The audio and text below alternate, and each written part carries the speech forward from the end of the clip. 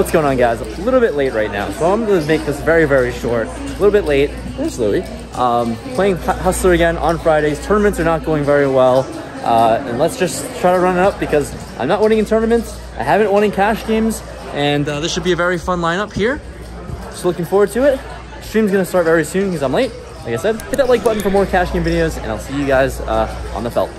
We're back on another Friday night here at Hustler. I buy in for $100,000 and early on in this session, the table decides we're going to play the stand-up game the entire day. Essentially, if you're not familiar with the stand-up game, you want to win hands. The last person to win a hand for this specific round pays everyone a bounty. In this scenario, it's about $300 each person. So let's get into it. About two hours into the stream, I'm a little card dead before picking up 8-7 of clubs in the small blind. The $400 straddle is on to playing 1 two, four, and Hank and the hijack open things up to $1,200. Seeing that I've been pretty inactive so far this entire session, I'm going to three bet and raise this up with uh, a fun hand to see a flops with to $5,000. Hank makes the call. He's not going to go anywhere. He likes to battle, and we're off to a flop of Ace Jack 3 2 diamonds. Ace high boards, I'm the three better. You probably understand the gist that I'm going to be betting this one and I size to 3,000. And on this $3,000 bet, Hank makes the call and comes along. So, not really loving the development so far in this first hand, but the turn is the 10 of diamonds, which is even worse for me, I think. Uh, I don't have any diamonds. He certainly can have some diamond draws. I decide to give up on this plan and check. Hank is not one to give up. He fires out $11,500, and with my 8 high, I'm going to let this one go. And Hank's going to win this one with sevens. Well played by him.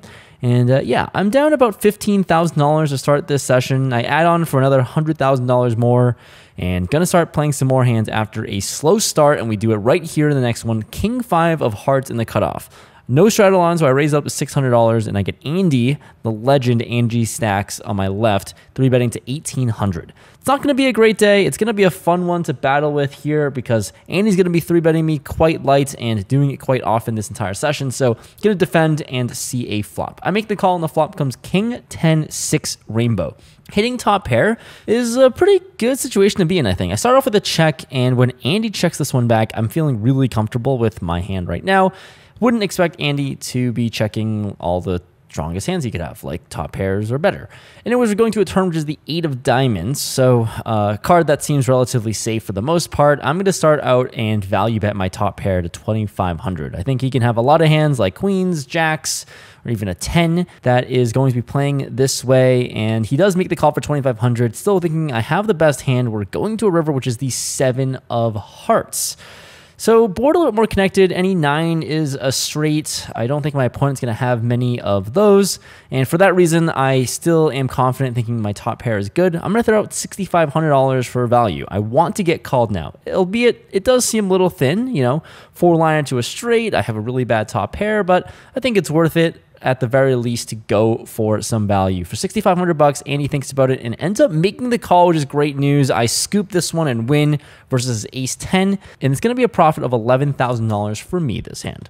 Quick interruption in the video because uh, you might be wondering, how the hell do I prepare for these Hustler cash games? And well, let me tell you, I'm playing on WPT Global, I'm playing high stakes cash, and it's available for anyone or most people that are not within the US. So if you're living outside the US, you can play on this site as well. We have the good old 9-5 suited um, I don't think I'm going to play this one, but I will check. But I want to show you guys the lobby first and foremost. Here we are. Look at the cash game lobby here. These are the high stakes. These are all the mid stakes games. They're in Chinese yuan because there's a lot of Chinese whales that play on this site. Like, look at all these games that are full right now. These are 10, 20, 40 Chinese yuan. Divide that by seven. It's about $1.3 stakes, uh, small blind, and uh, $5, $5.5 big blind. So basically two five game. I'm going to fold this one, I think. Yeah, I'm gonna I'm gonna let this one go with the 9-5 suited. But plenty of games available if you want to hop in. Click the link down in the description below.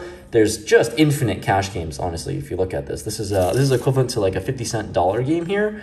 And what do we have? The Doyle. I, I, can't play the Doyle, sorry, but RIP to you. But uh, yeah, plenty of games, plenty of options to choose from. Micro stakes as well and low stakes. So click the link in the description below. Use the code RAMPAGE and you'll get a $1,200 deposit bonus if you deposit up to 1200 bucks. So uh, seems like a no-brainer if you're able to play. Softest cash games available, and I'll see you in the streets. Uh, potentially some meetup games to come uh, on the virtual felt here on this site. So get yourself logged in, make an account, and I'll see you in there. Moving right along, we love seeing these suited connectors. I pick up 10 9 of hearts in the big blind. The $400 straddle is on, and we get Brittany calling for 400, then Hank raising to 1600.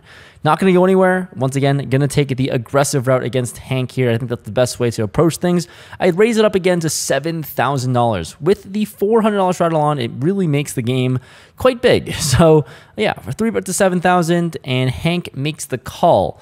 So we're going out of position once again in a 3-bet pot versus Hank, but damn, the flop is 9-4 deuce 2 hearts. If there was ever a good time to 3-bet, I think this is a good flop to do it on with 10-9 of hearts. So top pair, flush draw. I actually start off with a check here. I think I can do this with a lot of strong hands. Certainly this one is uh, a very strong board for my specific hand and one that I don't think I'll hit too often. Anyways, Hank ends up checking this one back quite wisely, as you know, I'm never going to go anywhere. Going to a turn which comes another 9 Bink City, as if I wasn't already confident in the strength of my hand. Now I just have the mega nuts, I think. And for that reason, I actually start off with a check once again. And Hank now decides to fire out $8,000 into the middle. Uh, I've got trips, I've got the flush draw. There's really not a whole lot that I can be afraid of right now. So for $8,000, I am just making the call. I think he's going to have a lot more bluffs than value, and I can always just go for a check raise on the river if my opponent actually has something good. So uh, I make the call for $8,000, hoping to let all his bluffs continue. The river is just overkill, a 10. Yeah, I have the nuts, the full house. It's it's just a great spot to be in. I check once again to my opponent, hoping he will bet. Uh, would love for him to bet any amount that will allow me to be all in for his stack. But after some deliberation, Hank ends up giving up and checks this one back. So I sheepishly show the nuts 10 9 for the full house and win this one. Moving right along, we enter one of the bigger pots of the night. Uh, there's a $400 straddle on. Hank, once again getting involved, raises it up to $1,200. Jamie on the button, three bets this one to 4000 And I'm not going anywhere at all. Ace Queen offsuit is a very powerful hand and certainly one I want to get aggressive with. So I'm going to four bet to $10,000. And here we see Jamie making the call as Hank gets out of the way. So we've got a big pot ballooning up, and we're going to a flop of Queen 6 3 2 hearts. That's going to be pretty good for me here. With top pair, top kicker, I'm going to bet $7,000 into the middle for value. I mean, it's just a beautiful spot. I just hope my opponent doesn't have kings somehow. And when my opponent makes the call for 7,000, loving this situation until the turn four of hearts. I'm kind of mixed either way about the specific turn card. I don't think I'm going to have any flushes here, although I do have a heart draw. And I think my opponent is going to like this card a lot more than me. So for that reason, I actually decided to check. Think betting or checking is fine. My opponent ends up deciding to check this one back. So we're going to go to a river. The river is the three of spades. So the bottom card pairs, not really a card that I'm very concerned about. So for that reason, having my opponent checked the turn, it's definitely time to bet. I'm going to bet big for value, $22,000 and snippety snap. Oh my God. Jamie snap calls. I show my hand, expecting to still have the winner, but oh my goodness, he has king three of diamonds. I lose well over $40,000 this hand. Sashimi decides to needle me, saying, Welcome to LA. I love it here. I love it in LA. Just want to run a little bit better. Unfortunate for my opponent to hit trips on the river. It would have been cool if really any other card than a three came out, to be honest. But here we are. Uh, stuck piles now, it seems, after this hand. Moving right along, I see my nemesis, Ace Queen, once again in the big blind. Sashimi raises to $2,000. It's a massive, massive raise. Uh, she's mainly trying to do this because the stand-up game is on, but picking up Ace Queen off suit, it's definitely a good one to defend in the big blinds. So I'm going to call for $2,000 facing a 10x raise. We're going to a flop of 9-4 deuce, 2 hearts, and a spade. I check it over to my opponent here, and Sashimi bets $4,000 it's it's large. This is this is large. It's a pot-sized bet, but uh, Ace Queen high is going to be ahead of a lot of stuff. It's very obvious she's just trying to, you know, play this way for the nit game. And I just don't believe her right now. So I'm going to float along for $4,000 and we're going to see a turn which is the Queen of Spades. Lovely. When you make a very loose call on the flop, you drill top pair, top kicker, but no more money gets into the middle here. Action goes check, check. Turn comes the ace of clubs. Oh my goodness. Top two pair. As if I didn't already have the nuts already, now I have the mega nuts with top two pair. I actually decided to check to my opponent here. Uh, clearly, the theme of this hand is that she wants to win the pot one way or another. And I'm expecting her to blast off a lot of the time, whether she has a strong hand or she just has bluffs that wants to win. So hitting the ace here, I would assume my opponent's going to bet a lot. I check and she does oblige with a bet of $11,000. Pretty chunky sized bets. And now I go into the tank a little bit, trying to figure out how much more money I can get from my opponent. Um, it's clear that she probably isn't going to have a whole lot most of the time. So I decided to go for a very small raise. I decided to make it $26,000, uh, a little bit less than 3x the bet here. Just trying to get called by a queen or an ace that's really trying to win the, the, the nit button. And she ends up folding. So, you know, very, very favorable, lovely run out for my specific hand here. And I'm happy to take this one down, scooping up another pot. Hoping things are moving into the right direction, I pick up aces. Yeah, aces in the cutoff facing an early position raise to 500. Certainly not going to stand for this small amount. I make it 1800 to go in position and action folds around to sashimi in the big blind. Oh my goodness, what does she have in store for us? It's another raise and this time it's to $7,000. That is correct, my friends. You made it $7,000. The early position player folds, and I have aces. What do I want to do? I, I actually want to actually get more money into the middle. Usually I, I don't do this, and you know I would just call the 7,000 a lot of the time. But uh, given how the action has played out, and I think this is a very, very good time to put in yet another raise. Someone call this a five bet. Yeah, you're supposed to only do this with aces, and uh, here I am. I have I actually have it this time. So I make it sixteen thousand dollars. Uh, very very milky sizing, hoping to just get called by anything that Sashimi could have. Expecting her to actually have a very strong hand here. And for 16,000, she does make the call. So we've got over 32,000 in the middle. We haven't even seen a flop yet, which comes a beautiful Jack 6-4 rainbow. As dry as it gets, as safe as it gets, for a hand like aces. My opponent checks, and I'm just going to start planning on how to get it all in by the river. And I make it $6,500, but I see a snap fold by Sashimi, unfortunately. So not going to make any more here this hand, but still always nice to pick up over $16,000 uh, with aces. Moving right along, these pots are only going to get bigger and bigger because I pick up Ace King of Diamonds and there's a double straddle on the freaking board. Action folds the Sinon in the big blind who raises things up to 2,800. I have Ace King of Diamonds. I don't think I need an explanation as to why I decided to make it $8,400. We're already really juicing up the pot here. And oh my goodness, Andy next to act makes it 22,000. Four bets to 22,000 here in position of me. It goes raise, raise, raise in the three consecutive positions. Sinon ends up getting out of the way and now back onto me. I'm out of position against Andy this time. We're playing super deep. He's the only player that covers me and this is this is going to get really really big because I think the best option for me now at this point is to put in yet another raise. My, I mean, my hand is just so strong. It's uh, going to be a very big pot if I get called, but I think it's the right play to go against Andy, who's also very capable of making big bluffs and four betting light. So I make it $50,000 because I have a good hand, and I think it's good enough for this price. $50,000, Andy ends up making the call. So we have the biggest pot brewing right now. Over $100,000 into the middle. Flop comes King 10 7, two spades and a club. Here, flopping top pair, top kicker, there's no better feeling thinking that I probably have the best hand in a pot that's going to balloon well over $100,000.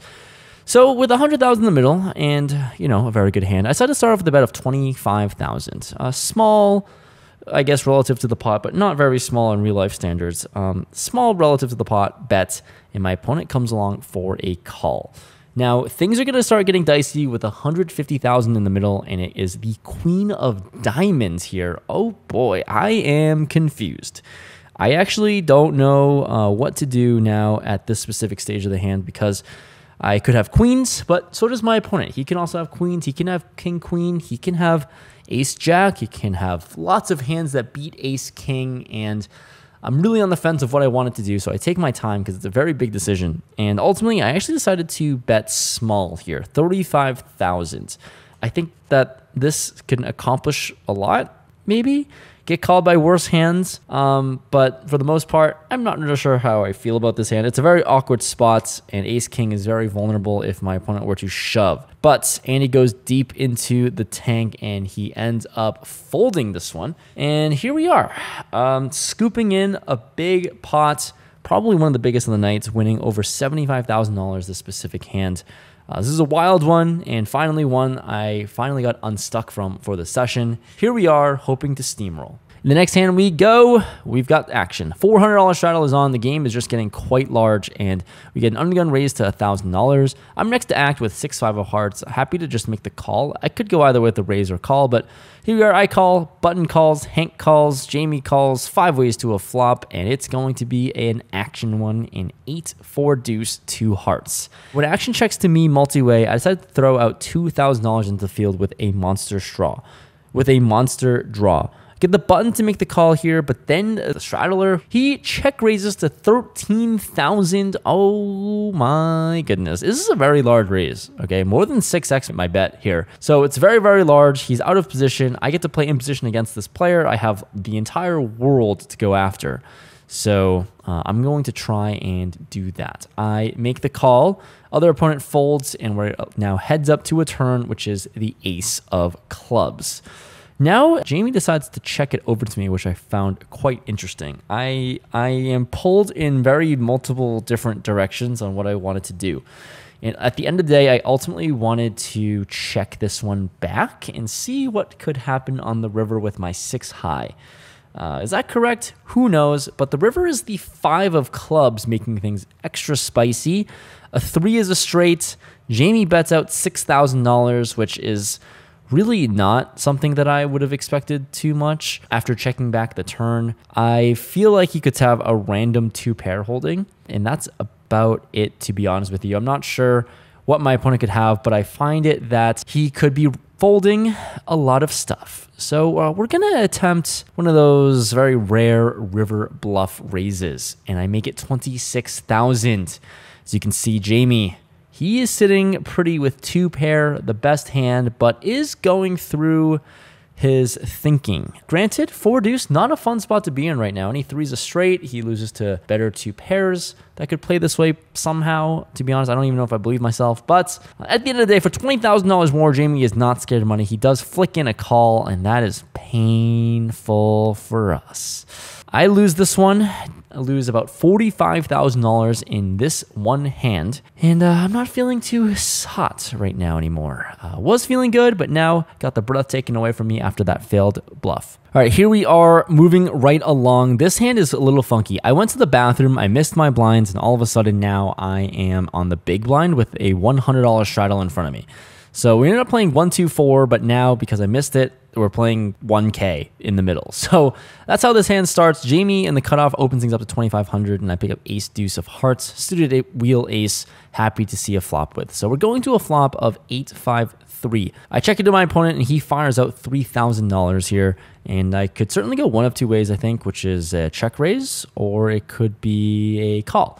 And, you know, for one reason or another, I decided to just call this one. So why not? We're going to see a turn. If pot is friendly enough, the turn is the ace of spades, giving me top pair along with my flush draw and definitely a card that I love. I check it over to my opponent again, and this time he fires out 5,000, which is a little bit of a weird bet, a little bit smaller compared to the size of the pot from his flop bets, but I'm never folding top pair. Um, I just hope another spade doesn't come. So happy to call the 5,000 and we're going to a river, which is the six of diamonds. Not really a card that changes much at all. So I check it over to him and hoping to see a check back, but he does not oblige, unfortunately, and fires $15,000.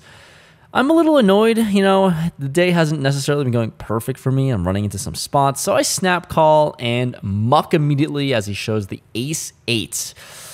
Ooh, for one reason or another, this is the hand that kind of set me off a world of tilt. I haven't been able to win many pots. I keep losing to this one specific person, and uh, it's getting a little frustrating. And we're moving on to a premium hand. I finally looked down at near the end of the night. Pocket Queens in the small blind. $400 straddle is on as always, and we get Jamie once again raising to $1,000.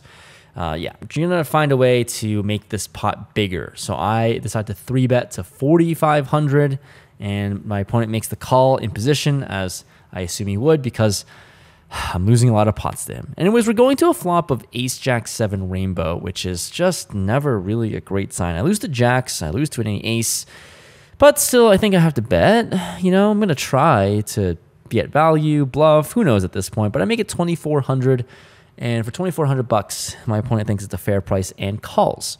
So going to a turn now, which is the deuce of spades, it brings in a backdoor flush draw. I don't love my situation anymore with just pocket queens. Is there ever a world that it goes check, check? I start to check it over to my opponent, and now my opponent fires out $3,000, which is a very rather interesting sized bet. Uh, this is certainly one that is annoying for my specific hand, and I could fold sometimes, but I'm too stuck to do that. I flick in 3000 and we're going to a river, which is the four of hearts. Not a whole lot really changes or gets there, and I check it to my opponent once again now, hoping he can finally check back, but he throws out $12,000. Uh, I don't like it. I don't like it, but I'm not going anywhere. I'm too stuck to fold. What's another 12K to what I'm down today? I make the call and scoop somehow. My opponent shows a bluff, and uh, I make over $20,000 this hand. So finally won a decent sized pot versus Jamie. And this hand actually puts me into the black. At the end of the stream, I am now up a little over $7,000. And that is not where this session ends, folks. We're actually going to play post stream for a little bit, about 30 or 40 minutes of post stream action. And we're playing three handed poker. Myself, Jamie, and Andy. We're playing 200, 400 with a $400 big blind ante. And here we are. Jamie on the button raises things up to $1,000 shorthanded. I pick up ace queen of clubs and certainly going to put in a raise because it's a good hand and I make it 4500 He's playing super deep. He covers me. I'm trying to get some of my money back from him. And here we go. Big blind fold, and now the button player, very aggressive, makes it $11,000, putting in yet another raise preflop. And I'm not going to go anywhere, to be honest with you. Uh, never thought about folding this hand. It's way too good. It plays too well. Let's see a flop, which comes three, four, five rainbow. Not a club out there, unfortunately. So no backdoor flush draw, but I do have a straight draw Things could get pretty spicy here, but unfortunately, action goes check, check. It's not a whole lot going on here. The turn is the nine of clubs here, bringing in a full rainbow. I check once again, although I did think about betting here for one reason or another. Uh, I decided to check with my ace high, and now my opponent fires out a delayed C bet of 12,000 bucks. Hmm, I don't think I'm ever allowed to fold here, mainly because I do have a straight draw. Ace Queen High is sometimes the best hand. So I'm never going to be folding. I make the call as we're playing three handed and we're going to a river, which is the Ace of Diamonds, binking top pair. And for one reason or another, somehow, when I check it to my opponent, he checks this back with Ace 10 oh my goodness, he's certainly soul read me. So definitely not going to get any more value on this river, but it is nice to win this one three handed after the stream has ended. Nice to capture this one for you guys. And that's the last significant hand of this night. We're going to go to the outro to go over some numbers. And thanks for following along. All right. Uh, just wrapping things up. We're here, uh, just, you know, game's over, all that stuff fuck, man. What a eventful stream. A lot of ups and downs. Played a lot of hands. Battled a lot. We were pretty short-handed, so definitely due to collide, maybe unnecessarily. I, I need to fight this bug where I just want to bluff every time. My bluffs aren't working. So yeah, end of the day, I was in for a lot. The game was fucking massive. we ended up playing post-stream, battle a little bit too. Nice to win that last hand to basically get me unstuck, which is crazy. I was in the game for $200,000 and I cashed out for an even number of 217,000. So $17,000 profit. Uh, happy with it, uh, albeit for pretty small given the size of the game, given the swings, given the pots that we're playing. definitely dusted off multiple tens of thousands of dollars through bluffs, uh, some light calls. Anyways, it's good to at least feel a little bit of momentum, uh, to book a win, albeit a small one for the game. Uh, but yeah, hopefully we're trending in the right direction. Happy I won. Happy I survived this game. Thanks so much for watching. Hopefully more of these big cash games to come. Just glad I survived. Nice to rebound, win 17,000 after losing over 200,000 the night before, uh, the last the last video. But thanks so much for watching. I'll see you next time. Leave a like. Peace.